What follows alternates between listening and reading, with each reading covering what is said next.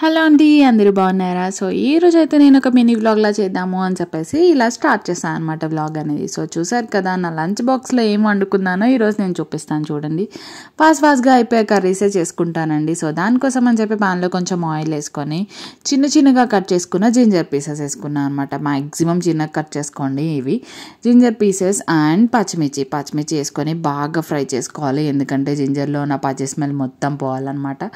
So ఇది పూర్తిగా fry పోనీ ఈ కర్రీ ఏంటో మీకు చెప్పలేదు కదా నేనైతే ఫస్ట్ ఈరోజు బీట్రూట్ కర్రీ చేసుకుందాం అనుకున్నాను. సో దానికోసం అని చెప్పేసి ప్రిపరేషన్ అనమాట సో చూసారు కదా దానిలోకి కొంచెం కరివేపాకు వేసుకొని చిన్న చిన్నగా కట్ చేసుకున్న బీట్రూట్ పీసెస్ వేసుకోండి. బీట్రూట్ పీసెస్లో వెంటనే నేనైతే సాల్ట్ వేసుకుంటానండి. కొంచెం సాల్ట్ వేసుకుంటే ఆ వాటర్తో కొంచెం బాగా ఫ్రై అవుతుంది అని చెప్పి అండ్ సాల్ట్ పసుపు వేసుకున్నాను అనమాట దీనిలోకి కొంచెం సాల్ట్ కొంచెం పసుపు వేసుకొని బాగా తిప్పేసుకోండి. కంపల్సరీ మూత పెట్టుకోండి అప్పుడు బీట్రూట్ బాగా మగ్గిపోతుంది. త్వరగా ఫ్రై అయిపోతుంది. సో పార్లల్గా నేను ఈరోజు రెండు ఫ్రై కర్రీస్ తిందామని అనిపించేసి నేను రెండు చేసుకుందాం అనుకున్నాను అనమాట ఇలా ఒకటి మూత పెట్టేసేసి ఇంకొకటి స్టార్ట్ చేశాను. యాజ్ యూజువల్గా ఒక పాన్ పెట్టుకొని ఆయిల్ వేసుకొని దానిలోకి ఇదైతే మంచి ఫేవరెట్ కర్రీ అండి అందరి ఫేవరెట్ సో ఇదేంటో నేను చెప్పేయాలా? సో ఇది వచ్చి ఆలు కర్రీ అనమాట ఆలు ఇలాగా సెమీ ఫ్రై అనమాట బాగా డీప్ ఫ్రై కాకుండా సెమీ ఫ్రై సో ఆయిల్లోకి కొంచెం ఆలు పీసెస్ ఆలు ఇలా వైట్ కాకుండా ఉండాలి అంటే ఆలు కట్ చేసుకొని తర్వాత వాటర్లో వేసుకొని ఒక టూ త్రీ టైమ్స్ కడుగుతా అనమాట సో దానిలోంచి వచ్చే మొత్తం అంతా వైట్ కలర్ వాటర్ ఉంటుంది కదండి ఆ స్టాచ్ మొత్తం పోతుంది. దానికోసం అని చెప్పి బాగా క్లీన్ చేసుకొని పెట్టుకున్నాక ఆలు ఫ్రై ఇలా చేసుకుంటే ఇలా చేసుకుంటే ఆలు ఫ్రై అనేది అడుగంటదండి. చాలా యమ్మీగా ఉంటుంది ఈ రెసిపీ ఇదైతే అద్భుత అద్భుతంగా ఉంటుందన్నమాట రైస్లోకి ఈరోజు రెండు ఫ్రైలు తిందామని చెప్పేసి ఇలా బాగా ఫ్రై చేసేసుకోండి. చూసారు కదా ఒక వైపు ఫ్రై అయ్యాకనే ఇంకో వైపు ఫ్రై చేయండి.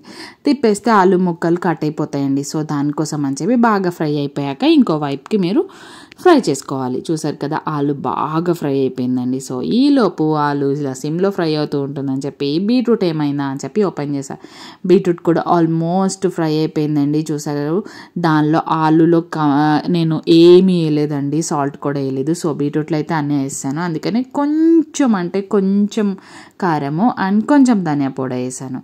ధనియా పౌడర్ వేస్తే మంచి స్మెల్ వస్తుందండి. మంచి టేస్ట్ వస్తుంది.